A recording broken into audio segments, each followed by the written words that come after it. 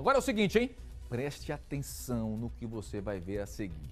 Imagine você, trabalhador, pai de família, dona de casa, voltando para casa após um dia intenso de trabalho, quando se vê obrigado a presenciar cenas de uma briga generalizada dentro de um ônibus. Pois é, o fato aconteceu na linha Albano Franco ontem à tarde e poderia ter causado uma tragédia, viu?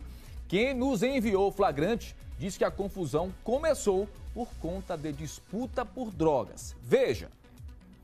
Para, minha amiga!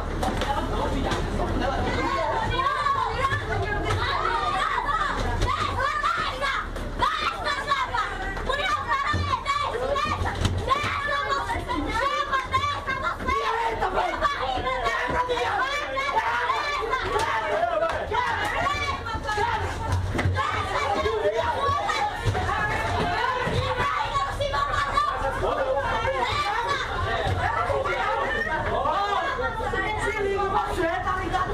Se liga. A pessoa não me entende. Me deixa ver. Porque você fala que quando ela tinha comida, agora você é o filhote. Você vai ver. Olha, o pau quebrou aí, a imagem prossegue, né? O vídeo prossegue aí. É, mais de 20 minutos de pancadaria dentro de ônibus. E olha, detalhe, né? Você percebeu aí que a imagem tá um pouco borrada. Por quê? Porque esses, esses cidadãos aí, é, de menor, de menor, leve pra casa. Bando de vagabundo, rapaz, brigando dentro de ônibus por causa de droga. E aí o trabalhador sergipano se vê obrigado a ficar quietinho ali, porque senão sobra pra eles. Agora, imagine se um deles aí tivesse uma arma branca, uma arma de fogo. Pronto. Tragédia completa dentro de um ônibus aqui em Aracaju.